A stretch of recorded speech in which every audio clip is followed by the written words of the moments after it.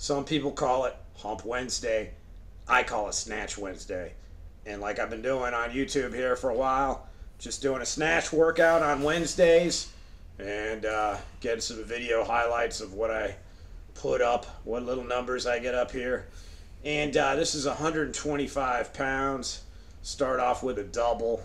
I did a little warm up. I usually warm up with about 95, maybe 115.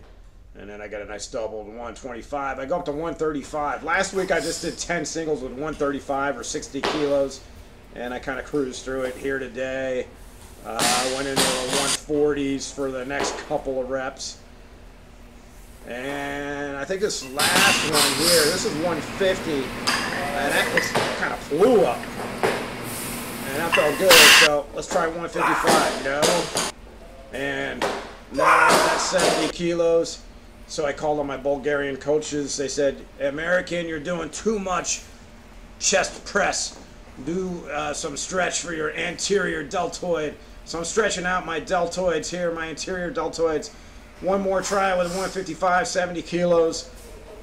Not bad. Did a squat under it, but whatever. That's why I take it down to 115. Hang, snatch, and a little stiff. I think I was like in a powerlifting stance on that one, so it didn't go down so fast. And another one.